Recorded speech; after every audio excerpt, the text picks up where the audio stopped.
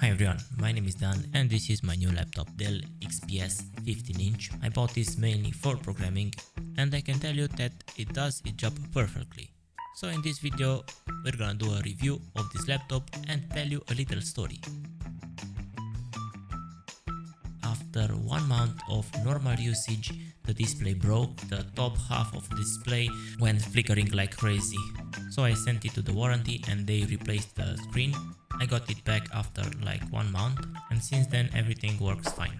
So because I'm using Windows, I've got this laptop because this laptop is like the MacBook of Windows operating system. The chassis is made of aluminum CNC machine, the display is 4K UHD plus 500 nits with touchscreen. And because of that, the weight of this laptop is 2 kilograms. The exterior of the laptop is pretty simple, you only have the logo and on the back you have some writings, the ventilation, holes and that's it. So let's do a quick test of the laptop. This is the typing touchscreen test.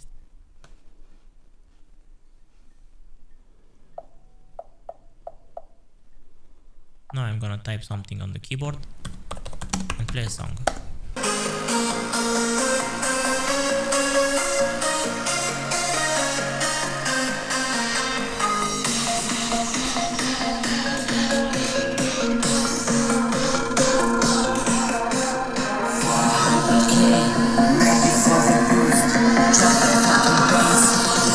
Central.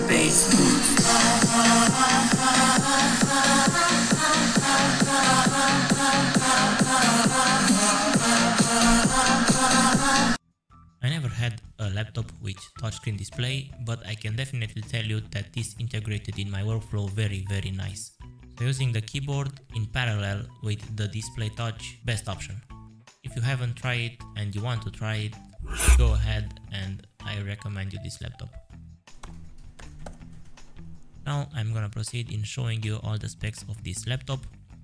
So this laptop is specs at maximum 10th generation of Intel Core i9, 10885H, 8 cores, 64 gigs of DDR4 RAM memory, 2 TB M2 NVMe SSD, Wi-Fi 6 and Nvidia GTX 1050 Ti 4 gigs of RAM. This is how the laptop sounds after 20-30 minutes of normal usage. Also must in 2021 if you are a developer, illuminated keyboard and a big trackpad.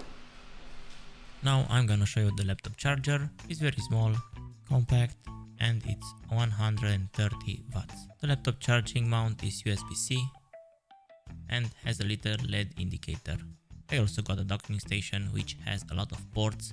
So in the front you have headphones USB-C and USB 3 and on the back you have Ethernet, USB 3, HDMI, double display port and USB-C. The connection to the laptop is made through this USB-C cable that is attached to the docking station. Also the docking station is powered by this massive power brick which is 180 watts in comparison to the little one that laptop has 130 watts.